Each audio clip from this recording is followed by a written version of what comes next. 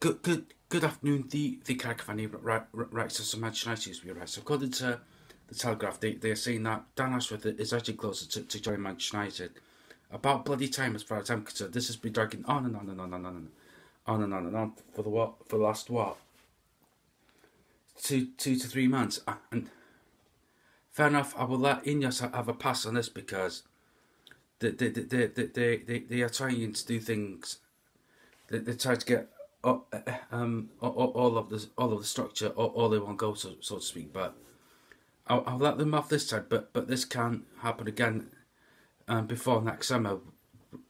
I.e., try to get a player and all that. But uh, yeah, and and also hopefully both clubs are coming to their senses and hopefully are coming to a conclusion or coming closer to an agreement regarding the fee for Dan Ashworth or, or whatever.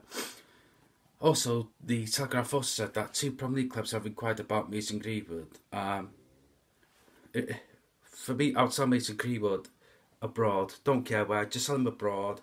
I don't want, I don't want to see him in the Premier League for obvious reasons, and um, yeah, do not want him in the Premier League. Sell him abroad, as far as I'm concerned. Right, so YouTube, manage to subscribe to the channel, the character channel, comment below, like the video. Take care, adios.